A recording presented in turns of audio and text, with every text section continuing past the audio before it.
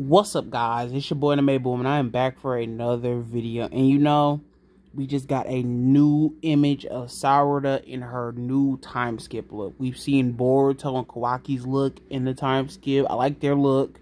Pretty cool. We seen that the very first episode of Boruto, actually. Not thinking about it. We don't even have to see their looks. But, yeah, it's crazy that we like one month away or something now It's very soon. We're gonna be seeing that again, so that's pretty cool.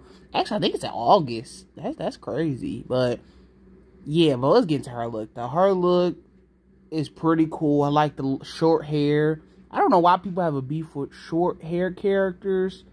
That I, I don't be getting that, but I think it looks pretty cool. She has the Uchiha earrings, represent for her Uchiha people, so that's pretty cool.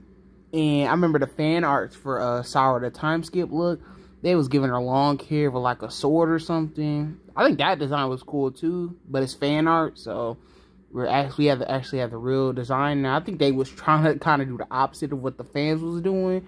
For some reason, it do it do it kind of seem that way because I thought the fan art was perfect. The way the fans wanted it, I thought that's how it was gonna be. So, no sword. She might still have a sword, but for what I see, she doesn't have a sword. And yeah, the main thing is the short hair though. So pretty cool design. I like it. And tell me how y'all feel about it. And I'll see you on the next video. Anime my piece. And that jacket she's wearing, it looked like she's wearing Boruto's jacket. I like the jacket too. So all of it's cool. Really like the design. And peace out, y'all.